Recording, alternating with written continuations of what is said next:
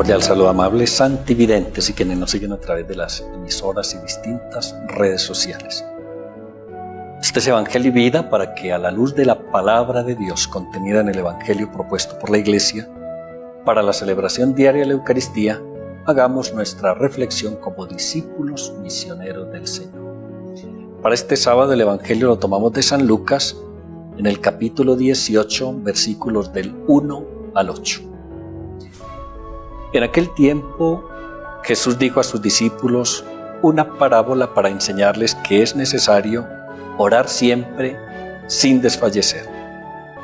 Había un juez en una ciudad que ni temía a Dios ni le importaban los hombres. En aquella ciudad había una viuda que solía ir a decirle, hazme justicia frente a mi adversario.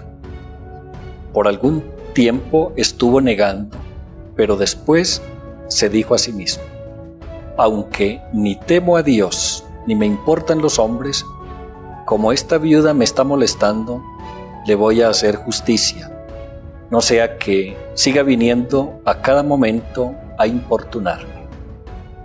Y el Señor añadió, fíjese en lo que dice el juez injusto, pues Dios no hará justicia a sus elegidos que claman a Él de día y de noche o les dará largas? Les digo que les hará justicia sin tardar. Pero cuando venga el Hijo del Hombre, ¿encontrará esta fe en la tierra? Palabra del Señor.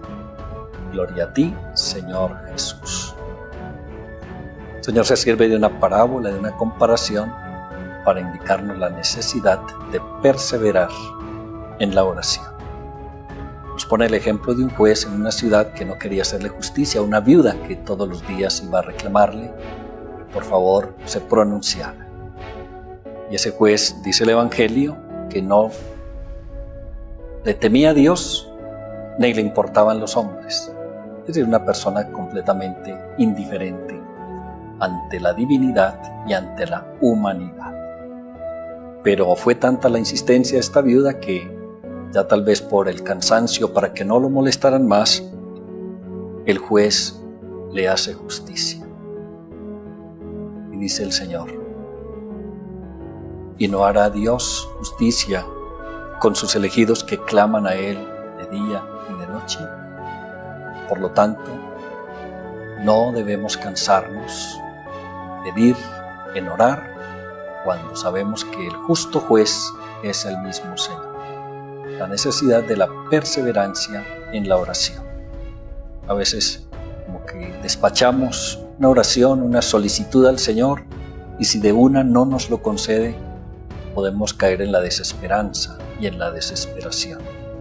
Y el Señor va a actuar mucho mejor que este juez inicuo, que a pesar de no tenerle miedo a Dios ni temerle a los hombres, pues actuó e hizo justicia pero el Señor va más allá.